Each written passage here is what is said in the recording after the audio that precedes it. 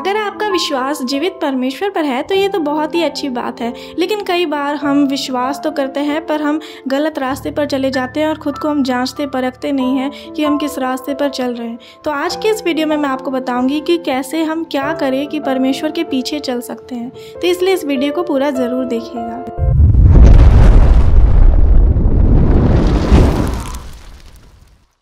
आज जितने लोग यीशु मसीह पर विश्वास करते हैं वो ये कहते तो हैं कि हम मसीह में हैं और उसके अनुसार हम चलते हैं, जो बाइबल में लिखा है। लेकिन वो काम वही करेंगे जो संसार करता है। उन चीज़ों के पीछे वो जाएँगे जो संसारिक है। तो उनके बातों से और उनके कामों से आपको लगेगा कि ये क्या कर रहे हैं, क्योंकि व्यवस्था के अनुसार वो नहीं चलेंगे, पर जो संसार कहेगा उसके अनुसार चलेंगे। तो कई बार ऐसा होता है कि हो सकता है कि आपके साथ भी ऐसा हो रहा हो कि आप सब कुछ कर रहे हैं, प्रार्थना भी करते हैं, लेकिन आप काम वैसा कर रहे हैं जैसा संसार कर रहा है। आप जो संसार की चीज़ें उसके पीछे भाग रहे हैं आप। आप जो संसार के लोग हैं, उनके साथ मित्रता रख रहे हैं। आप संसार के साथ मित्रता रख रहे हैं। तो अगर ऐसा है कि आपका ध्यान परमेश्वर की तरफ़ होने के बजाय आपका ध्यान संसार की चीज़ों की तरफ़ है, इस संसारिक वस्तुओं की तरफ़ है तो आज वचन के द्वारा मैं आपको बताती हूँ, परमेश्वर क्या कह रहे हैं। याकूब चार का चार में जब आप पढ़ेंगे तो लिखा है, हे व्यभिचारिणियों, क्या तुम नहीं जानती कि संसार से मित्रता करनी परमेश्वर से बैर करना है?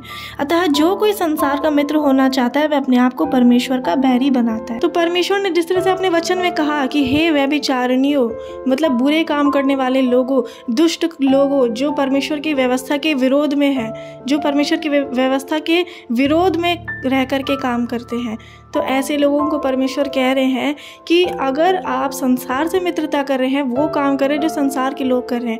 जैसे कि हो सकता है कि आज संसार में क्या चल रहा है, लोग अच्छा अच्छा कपड़ा पहन रहे हैं तो आप देखेंगे कि अगर उसने वैसा कपड़ा पहना है तो आपके मन में आएगा, मुझे भी ऐसे ही कपड़े पहनने चाहिए, वरना लोग सोचेंगे कि मैं कितना पुराने तरह से जी रहा हूँ, या फिर मेरे जीने का तरीका अलग है, मैं बिल्कुल अलग लगूँगा, या फिर खाना भी आप वैसे ही खाएँगे जैसे संसार के लोग खा रहे हैं अच्छा अच्छा खाना जिसमें बहुत ज़्यादा महँगाई हो बहुत अच्छा स्वादिष्ट हो वो तो इसका मतलब आप क्या है? आप वचन के अनुसार नहीं जी रहे हैं, बल्कि संसार के अनुसार जी रहे हैं। आपने संसार को मित्र बना लिया है अपना। क्योंकि जब हम किसी को अपना मित्र बनाते हैं तो हम वैसे ही हो जाते हैं। हम क्योंकि उसी के साथ रहते हैं, फिर इसलिए वैसे ही हो जाते हैं। तो अगर आप संसार में रह करके संसारिक वाले काम कर रहे हैं तो आप कैसे कह सकते हैं कि आप परमेश्वर पर विश्वास करते हैं, उनके पीछे चलते हैं?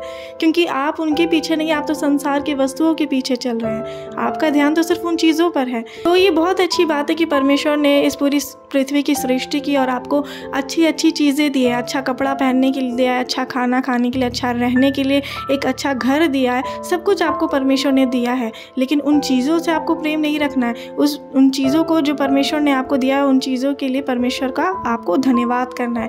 आपको खुश होना है कि परमेश्वर ने आपको ये दिया है तो आप, आपको ये करना है कि उसे कैसे परमेश्वर की महिमा के लिए इस्तेमाल करें। अगर आपको परमेश्वर ने एक अच्छा घर दिया रहने के लिए जो बहुत अच्छा है तो आप उस घर में रह कर के परमेश्वर की महिमा करें। और अगर आपको अच्छा कपड़ा, खाना, पीने के लिए जो भी दिया है तो उससे आप दूसरों की मदद करें। तो इस तरह से हमें उसका धन्यवाद करना है उन चीज़ों के लिए। लेकिन उन चीज़ों से लगाव नहीं रखना है। उन चीज़ों से हमारा कभी लगाव नहीं होना चाहिए। सबसे बड़ी बात कि हमें किसी भी चीज़ को लेकर के लालच हमारे मन में नहीं होना चाहिए। जहाँ हम, हमारे मन में लालच होगा, इसका मतलब है कि हम परमेश्वर की व्यवस्था के विरोध में हैं। हम परमेश्वर की व्यवस्था के विरोध में काम कर रहे हैं। क्योंकि दस आज्ञाएँ जब आप पढ़ेंगे तो उसमें से जो दसवीं आज्ञा है लास्ट में लिखा हुआ है कि तू किसी भी चीज़ का लालच ना करना, ना किसी की स्त्री का, ना किसी वस्तु का, किसी भी चीज़ का लालच आपके अंदर नहीं होना चाहिए। लालच है मतलब आप संसारिक बन चुके हैं, क्योंकि संसार के अंदर भी यही है। संसार में भी लालच है, लोभ, माया, ये सब कुछ है। तो आपको परमेश्वर के पीछे चलने के लिए क्या करना होगा? तो अब आप वचन मती दस का सैंतीस और अड़तीस पढ़े उसे पढ़कर आपको ये पता चलेगा कि अगर आपको परमेश्वर के पीछे चलना है तो अपने प्राण को आपको खोना पड़ेगा। मतलब आपको अपने शरीर के लिए नहीं सोचना होगा। अपने शरीर की अभिलाषाओं को, लालसाओं को क्रूज पर चढ़ा देना है कि अब आपको उसके अनुसार नहीं करना है। अपने शरीर की जितनी भी इच्छा है, उसको आपको मार देना है। अगर आप अपने शरीर के लिए काम करेंगे, इसका मतलब आप अपने प्राण को बचा रहे हैं। पर जब आप अपने प्राण को खोते हैं, शरीर के अभिलाषाओं को इच्छाओं को मारते हैं, इसका मतलब आप अपने प्राण को नरक में जाने से बचाते हैं। तो अब आपको क्या करना है? और उसमें ये भी लिखा है वचन में कि प्रतिदिन आपको अपना क्रूस उठाकर परमेश्वर के पीछे हो हो लेना है। क्रूस उठाना दुख को दर्शाता है। हमें दुख सह करके परमेश्वर के रास्ते में आगे बढ़ना होगा। उन चीज़ों से दूर होना होगा, उन लोगों से दूर होना होगा जो आपको परमेश्वर के रास्ते में आगे बढ़ने से रोक रहे हैं। क्योंकि आपको इन सब चीज़ों से दूर होना पड़ेगा, इन चीज़ों को छोड़ना पड़ेगा, ऐसे लोगों को छोड़ना पड़ेगा।